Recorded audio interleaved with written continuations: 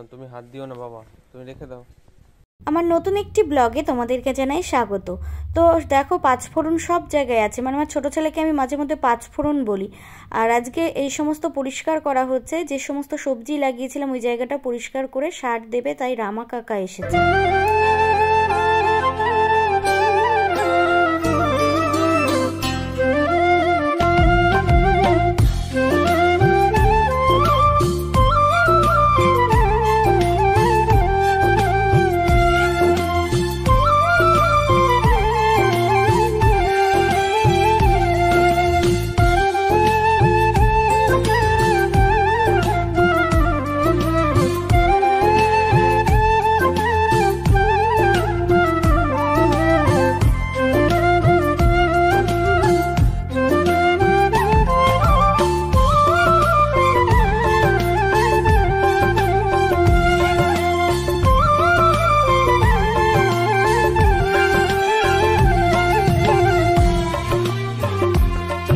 বর্মশাই গেছে বাজারে, কয়েকটা জিনিসপত্র আনতে। এইদিকে বাবান বাবিন এই রামাকাকার কাজগুলো দেখাশোনা করছে।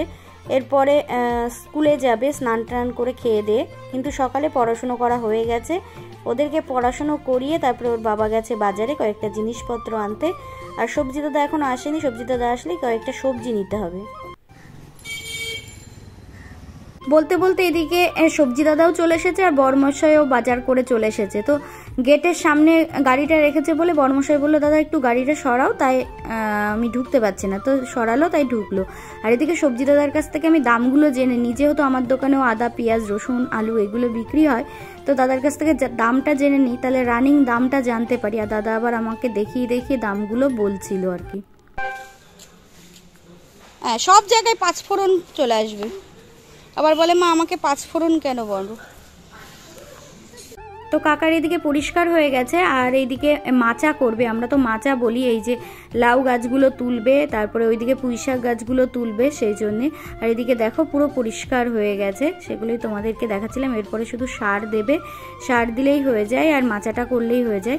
তারপর বাবান বাবিন স্কুলে যাবে, ওর বাবা দিয়ে আসবে, ওর বাবা আজকে আবার যাবে অফিসের মিটিংয়ে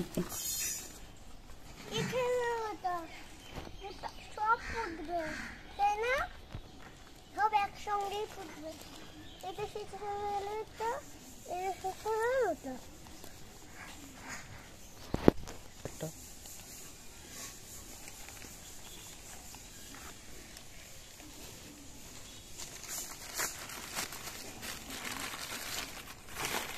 White.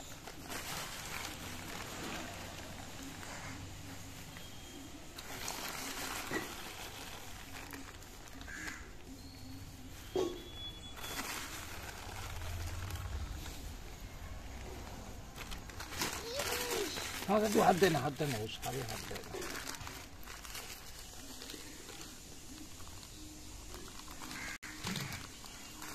এইগুলো এখন ফুটবে? হুম এইগুলো এখন ফুটবে?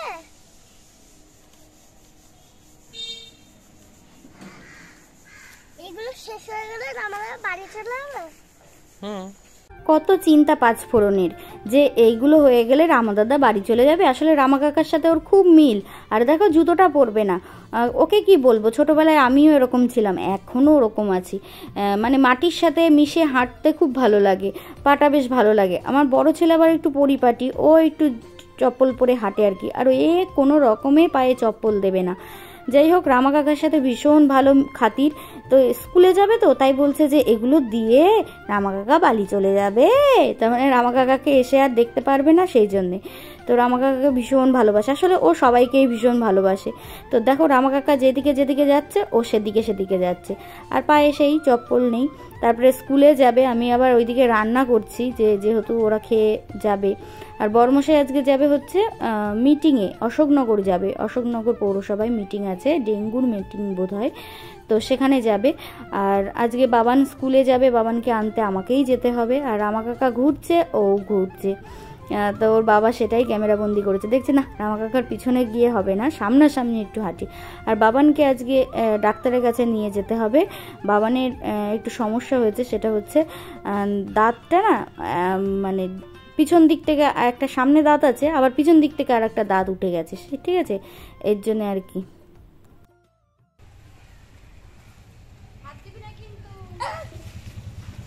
আমি এবার বললাম হাত দিবি না কিন্তু যেহেতু সার ও এমন করল আহ মানে ও যেন জানেই না যে হাত দিতে হয় না।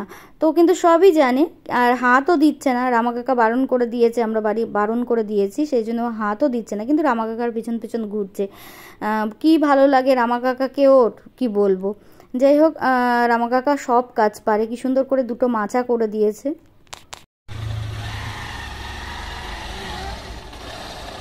ব্যাস, এবার আমি একটু নিশ্চিন্ত। দুই ছেলে স্কুলে যাচ্ছে, বড়মশাই অফিসে যাচ্ছে, যদিও সেখান থেকে আবার যাবে অশোকনগর মিটিংয়ে তবে আজকে বাবানকে আমাকে আনতে যেতে হবে। ওই যে বাবান, বাবিন, এবার আমি নিশ্চিন্তে রান্নাবান্নাগুলো কমপ্লিট করব। ওরা ভাত খেয়েই যাচ্ছে ফেনা ভাত, আলু সেদ্ধ দিয়ে। এটা খেয়েই যাচ্ছে। তো এবার আমি একদম নিশ্চিন্ত। এবার টুকটুক করে ভিডিও বানাতে হবে তা বাদে রান্নাটা শেষ করতে হবে। এদিকে দেখো আমি ডাল আর আলু সেদ্ধ বসিয়ে দিয়েছি আর করেছিলাম মাছের ঝোল মানে তেলাপিয়া মাছের ঝোল। আর এদিকে বাবার না খুব পছন্দ করে ওই আলু সেদ্ধ পেঁয়াজ দিয়ে মাখলে ভীষণ পছন্দ করে। তো সেটাই করেছি আর ডাল করেছি। ওদিকে রামা কাকা চলে গেছে, এখন বাসনগুলো মেজে দিচ্ছি বাসনগুলো মাজার পরে তারপরে যাব বাবানকে আনতে স্কুলে।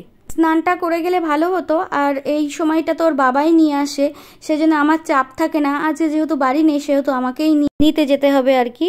তো চলো বাসনগুলো মেজে নিই তাড়াতাড়ি করে। তারপর পরে আবার তোমাদের সাথে ফিরছি।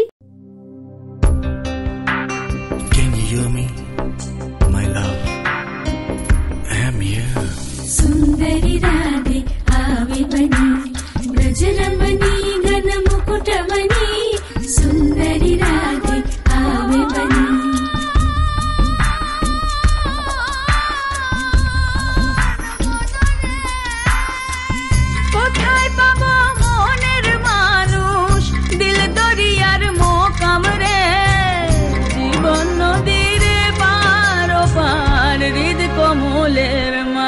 মোহিনী রে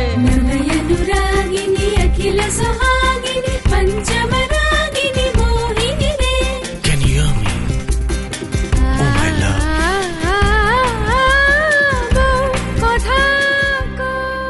তো রেডি হয়ে গেছি এখন আমি স্নান করিনি আর সব কাজকর্ম হয়েই গেছে।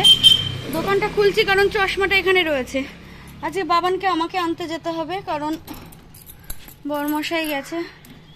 অশোকনগর মিটিংয়ে অফিসে ডেঙ্গুর মিটিং বোধ হয় সঠিক জানি না। তো এই যে চশমাটা দোকানে ছিল, পরে নিয়েছি। আর দু চেন আমুল দুধ নিতে হবে দোকানের জন্য, কারণ ফুরিয়ে গেছে আর আমার পাঁচশো টাকা খুচরো নেই। বাবানকে নিয়ে আসার সময় টোটোতে আসতে হবে, যাওয়ার সময় নয় হেঁটে গেলাম।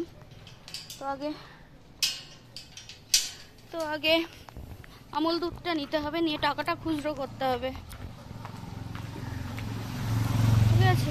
চলো। এসে স্নান করব, তারপরে খাওয়া দাওয়া আর বাবান বাবিনকে খেতে দিয়ে দেবো। রাস্তার দিকে তাকিয়েছিল, মা কখন আসবে? কিন্তু মা তো এগুলো নিতে হয়েছে। অন্যদিন বাবার কাছে চলে যায়। বাবা তো আজকে অফিসে নেই। এই যে ওর বাবার অফিস। সিঁড়িটা কানেক্টেড বাবার কাছে চলে যায়। আজকে তো বাবা অফিসে নেই। বাবা অশোকনগরে মিটিংয়ে গেছে। তো ওই ওখান থেকে দাঁড়িয়ে দেখছিল। মা কখন আসবে? চলো হ্যাঁ। টোটো ধরি। এই বাবান দাঁড়া।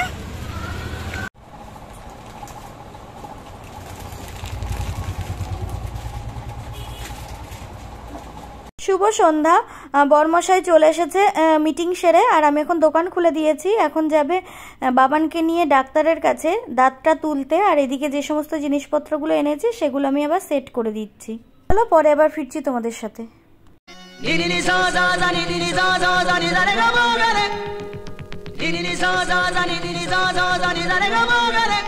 আলী মোলা মোলা আলী মোলা মোলা আলী রে আলী মোলা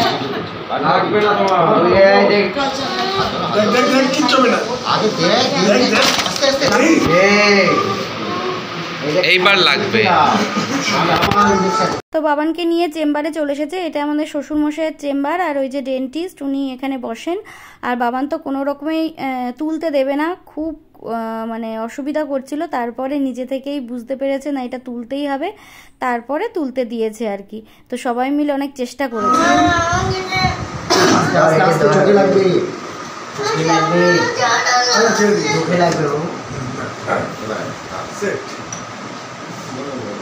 চোখে লাগবে চোখে লাগবে চোখে এটাও একই কি? আবার? আচ্ছা না আচ্ছা না হাতে কি এটা দেখি দেখি দেখি তো আমাকে দেখা। হা কর হাতে তুই এদিকে হা কর। হাতে এটা দেখি। আ করে আওয়াজ কর। আওয়াজ কর। গাড়ির চাবি কর। এই হা করো। হা কর। হা করে আওয়াজ কর। আ বল আ বল আমরা আমরা